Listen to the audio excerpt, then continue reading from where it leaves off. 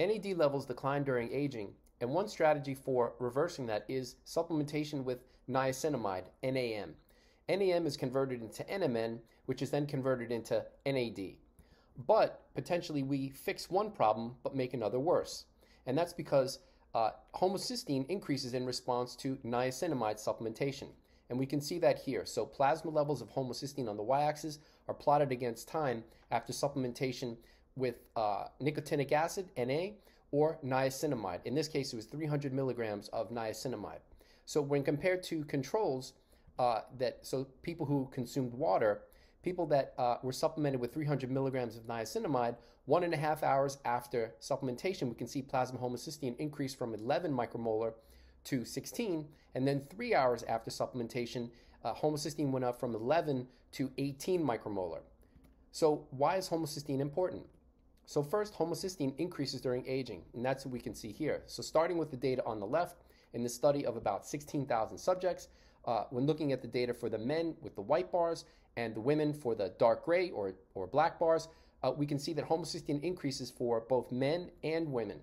Now, in a relatively small study, but that included uh, ages that went beyond the study on the left, up to 67 years, we can see that over the age of 67, starting with the group that was 65 to 69 years old, we can see that homocysteine continues to increase from the 65 to 69 year old age range all the way up past 80. So from this, we can conclude that homocysteine increases during aging, at least from the 40 to uh, 80 year uh, age group.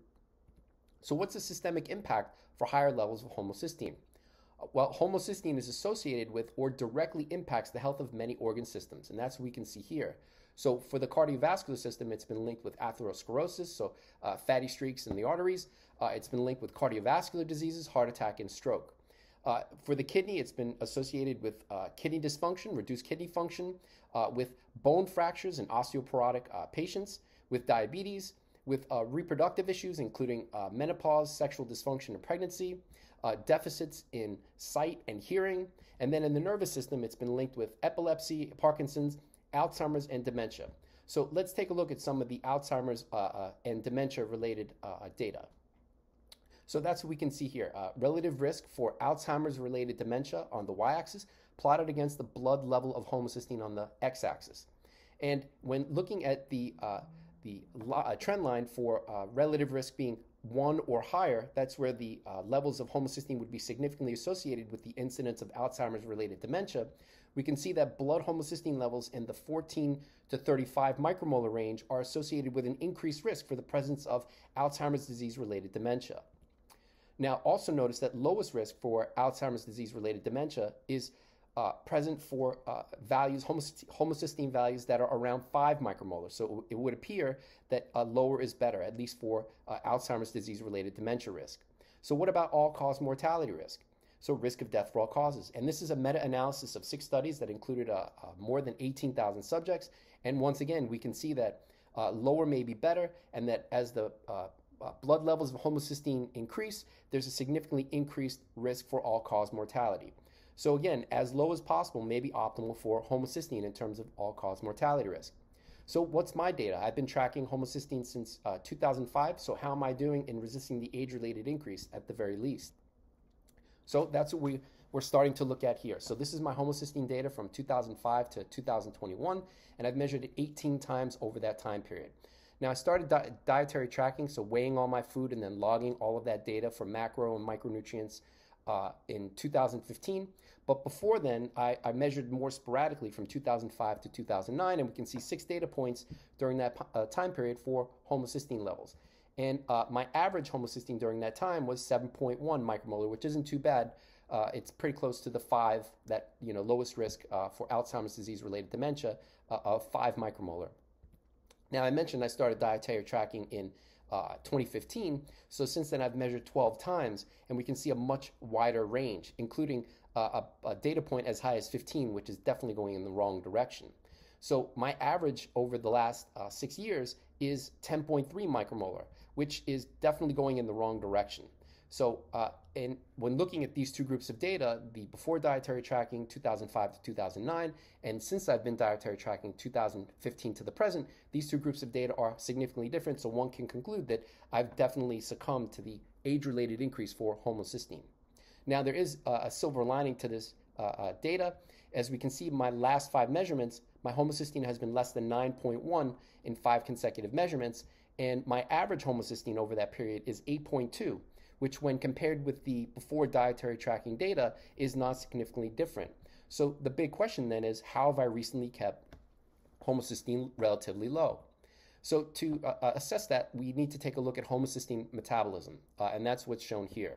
So starting with homocysteine right in the center, uh, if there's a B6, vitamin B6 deficiency, homocysteine will accumulate because homocysteine requires uh, B6 as a cofactor to be converted into cystathionine, and then uh, it's B6 is also required to convert cystathionine into cysteine. And if you take it further, you can see that cysteine can then be incorporated into GSH, glutathione. Uh, so if you have a B6 deficiency, not only will homocysteine potentially accumulate, but you will also have potential decreases in uh, glutathione uh, synthesis. So uh, also B12 can contribute to a homocysteine accumulation. So uh, uh, B12 is required as a required cofactor for homocysteine to be converted back into methionine. But it's not just B12 that's involved in that conversion. dietary folic acid, which is converted into blood levels of folate, is also required for the reaction that converts homocysteine into uh, methionine. And last but not least, uh, a betaine deficiency. So betaine is also known as trimethylglycine. So uh, betaine plus homocysteine is converted into methionine and dimethylglycine. So if you're betaine deficient, you can also have a potential accumulation for homocysteine. Now, interestingly, uh, for uh, seven weeks in 2020, I tried high dose betaine, trimethylglycine, uh, so four grams uh, of betaine per day, and uh, the resulting homocysteine uh, in my data was 11.8 micromolar, which, although it's not my highest level around 15, it's certainly not in that 9 range over my last five measurements. So I ditched it because it didn't seem to have a major impact on my data. However, I've been supplementing uh, for the past three years with a, a, daily stack of 400 micrograms per day of methylfolate, uh, 1,000 micrograms per day of methyl uh, B12, and up to 50 uh, milligrams per day of vitamin B6. So, uh, when considering I've been tracking my diet for the past uh, six years uh, and logging all that data into an Excel file, we can see if uh, which which or all of these uh, vitamins may be most important for keeping homocysteine low. So, is homocysteine is homocysteine correlated with my dietary intake of folate, B6, and or B12?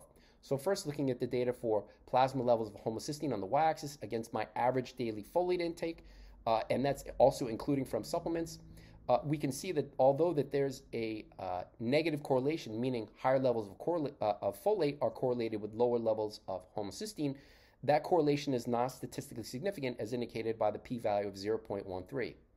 Uh, also not significant is the correlation for my average daily B6 intake with plasma levels of homocysteine. You can see the trend line for that data is approximately flat. Uh, and, this, and the correlation is not uh, it's not a significant correlation as indicated by the p-value of 0.87. So from this, we can conclude that homocysteine may not be significantly correlated with my dietary intake of folate or B6. What about B12? And actually, we do see a significant correlation here. So first, starting with uh, the data where I wasn't supplementing with vitamin B12, and I have four data points for that on the left, my average homocysteine was 12.7 micromolar. And then with uh, vitamin B12 supplementation, I have eight uh, plasma homocysteine measurements, and we can see that my average uh, homocysteine level there is 9.1, so about a 30% reduction uh, with vitamin B12. Now, uh, when comparing without B12 supplementation, four data points with the eight data points for with uh, vitamin B supplementation, these two groups of data are significantly different, which suggests that uh, vitamin B12 is contributing to the lower levels of homocysteine. But B12 may not be the only factor contributing to this reduction. And inter- interestingly, an even stronger correlation for lower homocysteine is uh, with my average daily protein intake. That's what we can see here. So the correlation coefficient is negative 0.86. And uh, a correlation, uh, when it's a negative correlation, the closer you get to negative one, that's as strong as it gets. It's perfectly linear. So uh, that's a better correlation with protein versus homocysteine versus my B12 uh, correlation with homocysteine. So this suggests higher protein intake, lower homocysteine. So uh, I actually have, we can take a deeper look at that data to investigate how much B12 is contributing and how much my protein intake uh, may be contributing to the lower homocysteine. So let's have a look at that. So here I've got listed each date that I measured uh, homocysteine and the corresponding average protein intake that corresponded to that homocysteine uh, uh, uh measurement, and then my average B12 intake uh, that corresponds to each homocysteine measurement. So, first, when I wasn't supplementing with B12, my average protein intake based on those four measurements was about uh, 99 grams per day, and my average homocysteine level was 12.7. Now, Note that I'm not deficient for B12 here. The RDA for uh, vitamin B12 is 2.4 micrograms per day. So even just for these four data points, I'm at least you know around five-fold higher than the RDA, but still my homocysteine is going in the wrong direction. Now for the next three data points, I was supplementing now with uh, 1,000 micrograms per day of vitamin B12. And if you notice the March 19th, 2018 data, it's 936 micrograms per day on average. That corresponds to that 10.8 homocysteine measurement.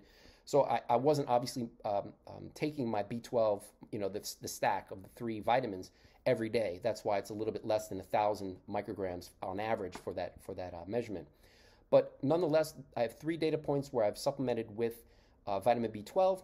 My protein intake, although it's uh, five grams higher with an average of 104 grams per day in those three measurements, it's not significantly different from the 99 grams per day in the previous four measurements. And my average homocysteine over those three measurements is 10.5 micromolar. So this is about a 20% reduction that one can infer may be related completely to vitamin B12. Now, in the last group of data, my B12 intake is the same. It's a, it's uh, a, a little bit more than 1,000 micrograms per day, but my protein intake is higher. It's on average 24 grams per day higher uh, than the previous uh, uh, periods, with an average protein uh, intake, average dietary protein intake of 128 grams per day. And based on that, my homocysteine levels are 8.2, so a further 20% reduction. So it looks like B12 on its own, um, without changing protein, 20% reduction in homocysteine, but then B12 with the combination of higher protein, a further additional 20% reduction in homocysteine. So the big question is how is higher uh, protein contributing to lower homocysteine? And superficially, one could say, well, you've got 24 more grams per day of protein, you may be getting more B12, that may be contributing. But I'd argue that may not be the case because at best, maybe I'll get one to two micrograms of extra B12, assuming that's from animal, an increase in animal protein for those extra 24 grams. Is 1,009 micrograms of B12 really different from 1,011? I'm not so sure about that. So if anyone's got any ideas how higher protein could be contributing to lower homocysteine, please leave a comment up below. And that's all I've got for now. Uh, thanks for watching. If you made it to the end, thanks a lot, and I hope you uh, enjoyed the video. Have a great day.